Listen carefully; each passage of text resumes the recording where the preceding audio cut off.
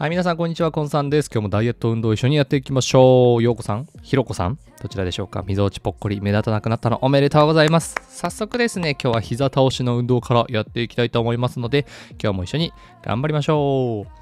ゆっくりと左右にパタパタと膝を倒していきましょう。結構左右差が出やすい運動ですので、あの柔軟性の許す範囲で、えー、気楽にやってください。無理してやるものではないですからね。ゆっくりとやっていきましょう。えー、今回はですね、いろんなカエルをやっていきますので、カエル足のために少しね、えー、股関節をよりほぐしてやっていきたいと思います。えー、仰向けだったりとか、え四つ倍だったりとか、あとはちょっとヤンキーガエルってね、私言ってますけども、そのヤンキーガエルも登場しますので、ぜひ楽しみにしていてください。さあ、もうちょっとです。ラスト。はい、OK です。お疲れ様でした。では、まずは座った状態でカエルさんの足にして、えー、足をほぐしていきたいと思います。軽く膝を立てた状態で今度は合わせましょう。そこから開いて、閉じて、開いて、閉じてを繰り返していきます。注意点としては特に開くときにいきなりですね、力を抜かないようにしていきましょう。いきなり力を振って抜いてしまうと、ここでね、股関節周りに、えー、刺激が強すぎることがありますので、そこだけ注意してください。さあ、残り20秒。どうでしょうか？皆さんしっかりとできておりますでしょうか？ふう、ふう、ふう。結構ね、この、あの、運動ね、まあ実は今回これを2週やります。カエルの部分を、えー、2週やっていきますので、あの、結構ね、効くと思いますよ。はい、ダイエット、初心者の方、運動がね、苦手な方、簡単だけれども、あ効くなーっていうのを用意しておりますので、ぜひ一緒にやっていきましょう。今度は仰向けで同じ動きをやっていきます。同じように開くときね、気をつけてください。あとはこんなに開きませんって方、それでいいです。はい。あの、柔軟性が許す範囲でも全然 OK です。体力、筋力、柔軟性全部違いますからね。そこは無理せずやっていきましょう。余裕のある方は、あ、呼吸止まってないかなっていうことをね、注意してみてください。そこだけ、えー、注意すると、結構このストレッチの、えー、効果変わってきます。やっぱりストレッチというのは、いかにリラックスが大事になります。なので、このリラックスのためには、呼吸をね、作り出すことが大事なので、はーというね、えー、力の抜けるような呼吸やってみてください。さあ、次はですね、このカエル足のまま上に上げていきたいと思います。き寄せてる時は膝開いてぐーっと伸ばす時は膝を締めてという感じになります。で引きつける時には足の裏と裏が合ってる感じです。上に伸ばす時は足の裏と裏は、離れてる感じですね。はいそれでしっかりとやっていきましょう結構ねこの内もも周りえー、大事になります。ダイエットでは、あの、かなりね、足のラインがこれで綺麗になります。で、この内ももやることで、えー、腹筋にもね、えー、かなり効果が及んできますで、めちゃくちゃおすすめです。はい、やるか、やらないかで全然変わってきますから、ぜひね、一緒にやっていきましょう。今日のね、コメントにもあった方のようにね、継続すると本当に変わってきますので、ぜひ一緒にやっていきましょうね。はい、OK です。お疲れ様です。では次、カエルの腹筋やっていきます。結構辛いよ。なので、あの、無理せずやっていきましょうね。足の裏と裏、合わせていただきまして、ぐーっと体持ち上げていきましょう。はい、手でしっかりと押さえて、おへそをゆっくりと見るような感じですね。おへそをゆっくりと見てください。さあ、それでね、しっかりとやっていきましょう。ぐーっと。どうでしょうか？聞いてますか？これもね、あの、ふわーってね、戻す時に力抜いてドデーンとすぐならないようにゆっくりじっくり戻すというのがこの腹筋運動ではめちゃくちゃ大事です。さあ残り10秒やっていきましょう。残り10秒です。5秒前。はい OK です。お疲れ様です。ではこれをねバウンドしてやっていきます。結構きついよ。頑張りどころですよ。やっていきましょう。上げた状態をキープしたままそこからちょっとね弾む感じです。でさらにこううううってやりに行くような感じですかね。肘をもう本当に腕で頑張るイメージです。これねお腹とかで頑張るようにしてしまうと人によっては首に力が入りすぎて首が痛いってなっちゃうんですよ。なのでこう支えてる腕の方でグッグッグッグッって頑張るって感じですかね。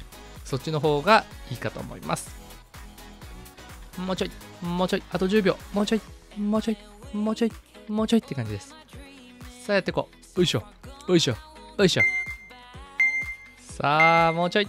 はい、OK です。お疲れ様です。はい、では次ですね。カエルさんのヒップリフトやっていきましょう。足の裏と裏合わせていただいてぐーっと持ち上げます膝開くことお腹へこませることこの2点意識してやってみてくださいさあぐーっとねやっていきましょう。よいしょ。あと20秒。結構ねこれもあの同じペースでやるのが大事です。上がるの頑張るけど下がるときにふっと力抜けちゃうって人ね結構いらっしゃるんですけれどももったいないです。最後まで最後までゆっくりとやるっていうねこれが大事になってくるのでぜひやっていきましょう。はい OK です。お疲れ様です。では次ですね。カエルさんでやっていきましょう。カエルさんのままお腹にぐっと引きつける感じです。膝が開いてますのでより胸に引きつけやすくなってると思います。ぜひしっかりとやっていきましょう。グッグッグッって感じです。で頭はさっきのように上げててもいいですしこのまま寝てても OK です。ご自身の中でどちらがお腹が効きやすいかそしてどちらが首が痛くないかこういう観点でねあのどっちか選んでみてください。正解がとかはないので、えー、ご自身がやりやすい方そして何よりも続けやすい方そう習慣が大事なので習慣になりそうな方を選んでください。はい、OK です。お疲れ様です。では、体勢変わります。四つ倍のカエル足やっていきましょう。四つ倍にした状態で、足のね、かかととかかとを、まあ、くっつけてもちょっと離れてもいいんですけれども、まあ、とにかくちょっとね、カエルさんのような足にしていただきまして、ぐーっとね、このように腰を出す、腰を戻すっていう運動をやっていきましょう。あの、カーペットじゃなくて、えー、普通のフローリングにね、膝がついてる方、ちょっと膝が痛いかもしれません。ヨガマット移動したりとか、あとは下に何か敷いたりしてですね、膝の方だけお願いします。はい、ぐっとね、こう腰を入れると、あの、かなり気持ちよく内ももが伸びますよね。で、さらに腰を入れた状態でちょっと体をね、こんな感じでひねったりすると、よりこう内ももの伸びを感じたりするので、アレンジとしてやってみてください。結構効きますね、これね。OK。じゃあ、1セット目の最後です。ヤンキーガエル。頑張っていきましょう。ヤンキーガエル。はい。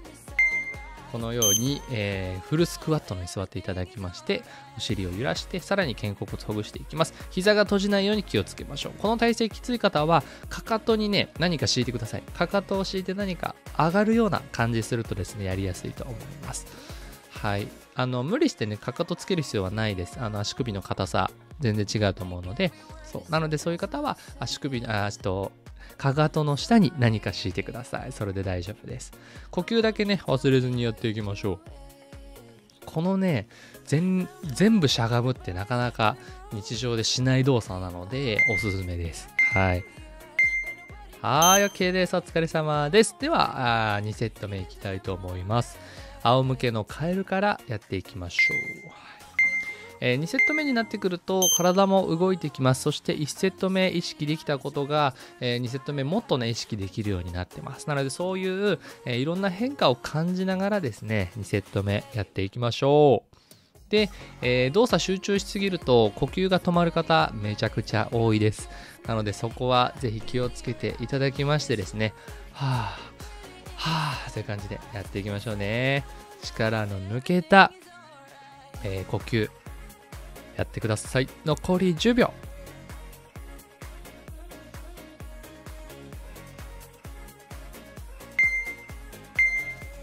はい、OK です。お疲れ様です。では次、カエルさんのまま上にぐーっと持ち上げる。腹筋と内ももの運動です。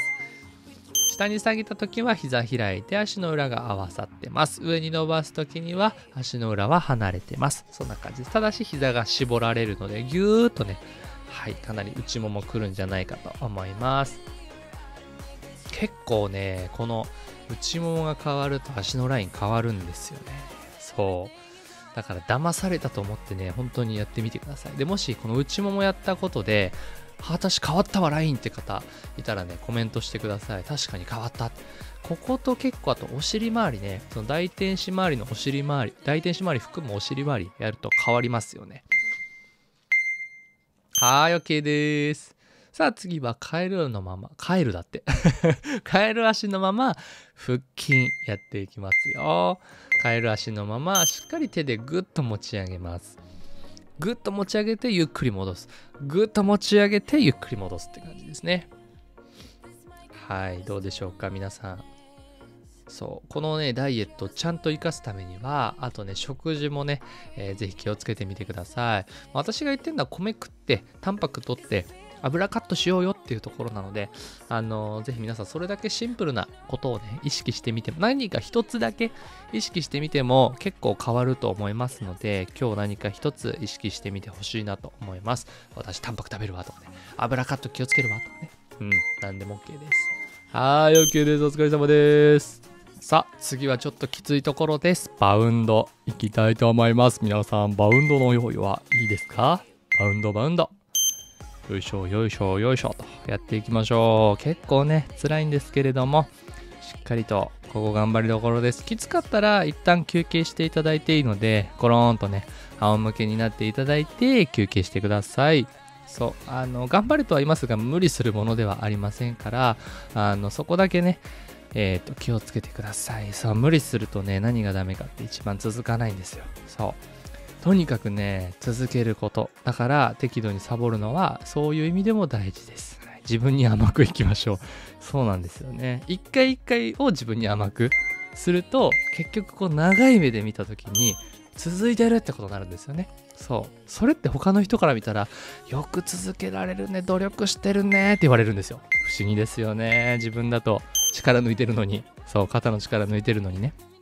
だから一回一回いかに自分に甘くするかなんですよね。というのも、あの結構皆さん、まあ、僕を含めて、えー、一回一回を完璧にしようとするのが、あのまあ、人間だと思うんですけれども、なんか性格とかなるじゃないですか。だからこそ続かない。っていう話になってくるので、一回一回はもう肩の力抜いて、もう超楽にサボって OK みたいな感じでやって、それをね、長いスパンでちゃんと続ける。そうすることで、続いてたわ。とかね、そういう風になってきますので、はい。さあ、もうちょっと。もうちょっと、もうちょっと。はーい、OK です。お疲れ様です。では、なんだっけ。はい、これね、種目名を忘れてしまいました。はい。ニートゥチェストね。ニートゥチェストやっていきましょう。足の裏合わせた状態で、膝しっかり開いてやっていきます。そう。これもね、頭上げた方がよりお腹が分かりやすい人本当にいますし、私はこういう風に全部寝ちゃった方がいいわって方もね、いるんですよ。なので、どっちが正解とかいいとかないので、えー、自分がやりやすい方、そして続けやすい方をやってください。はい。そうなんですよね。あと10秒。しっかりとお腹周りもぽっこり引き締めます。引き締めます。これね、一日の初めとかにやったりすると、あの結構日中ね、お腹周りに意識が行きやすくなるのでそういう意識づくりっていうのも実はダイエットに大事だったりするのでね。そう朝の15分とか取れなくてもベッドで起き上がったら今の種目だけとかでも全然 OK なんですよね。今の種目だけやって、えー、起きるとかそれでも全然 OK ですので。そうだから全部やろうとしなくていいし完璧にやろうとしなくていいんですよね。1種目40秒ですけども、その40秒すらやることない。今のさっきのね、お腹のエクササイズだって、3回から5回ぐらいやったら、なんとなくこうお腹に使ってる感じが出てくると思うんですよね。それで OK です。はい。朝やれっていうのはそういうぐらいでも全然 OK だということです。それぐらい、あの、軽く考えてくださいね。それが一番続きます。本当に続くんだよ、これ。本当に続くんです、これの方が。はい、OK です。バッチリでございます。はい。ではですね、最後、ヤンキーガエルでございますね。ヤンキーガエル、やっていきましょう。ふぅ。そう、このね、ヤンキーガエルがフルスクワットね、しっかりできると、かなり皆さんの、えー、股関節周り、足首周りの柔軟性っていうのは、ちゃんと日常に生きてきてる柔軟性になってます。はい。だからいろんなね、こう開脚のストレッチとかいろいろあると思います。だけど、日常の中の動作っていうのは動いてますよね。止まってるんじゃなく動いてるので、こういうゆらゆらした時にも、あの、ちゃんとこう柔軟性が生きて、きつくなくこの動きができるっていうのは、あの、結構大事なポイントだと思いますので、一つ一つ柔らかくしていきましょう。はい。皆さんお疲れ様でした。バッチリでございます。さあ今回のコメント読んでいきたいと思います。皆さんいつもね本当にコメントありがとうございます。まずは、えー、佐野さんですね。猫背がひどすぎて肩甲骨が横が痛いのですが、だいぶ楽になりました。ということです。右の肩甲骨の横が特に痛いのですが、痛い方の回数を増やすといいのでしょうか？ということなんですけれども、これね、痛い方はあの肩甲骨だけじゃなくてね、脇腹のえー、ストレッチ、これもやってください。あとは、騙されたと思ってですね、その肩甲骨のエクササイズやる前に、特に右、あのね、小指をくるくる回してほしいんですね。回してじゃない、小指をくるくるつねつねしてほしい。小指の爪の部分ね、爪の横をグイグイグイと押す。これやるとね、肩の動き本当に変わるんで、これ、クリクリしてから、えー、肩甲骨のエクササイズやってみてください。変わると思います。